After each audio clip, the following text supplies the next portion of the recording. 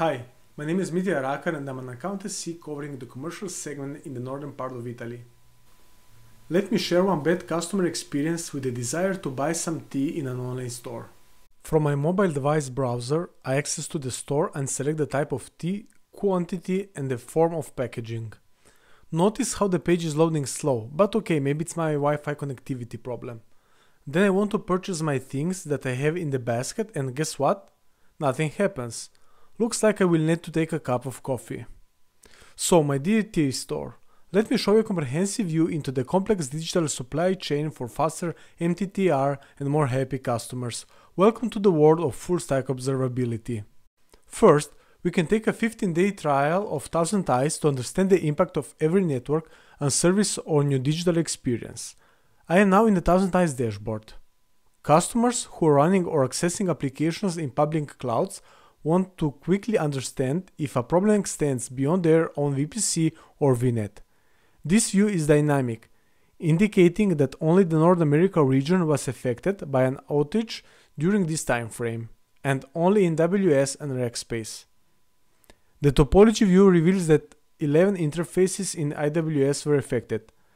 With the first click we reveal the geo, and there are displayed all the 11 devices affected. Many SaaS vendors utilize IaaS to host their services and this might affect dependencies for your application and the digital experience. Another piece towards FSO is AppDynamics, which automatically discovers business transactions such as checkout procedure. AppDynamics automatically discovers and splits out business transactions based on the PHP class and method. We see that there are business transactions with violations. What we notice is that the checkout business transaction has a slow database call to MySQL. The overall business transaction performance is not that bad on average, but since this is a critical transaction, even occasional slowness is worth looking into. The slowest snapshot took 10 seconds, which is too long to wait on a checkout. Let's find why it takes so much. In the potential issues list, we can see the line of code in the PHP call stack that made a slow database call. And finally, we can see the exit call details gathering from PHP about the database.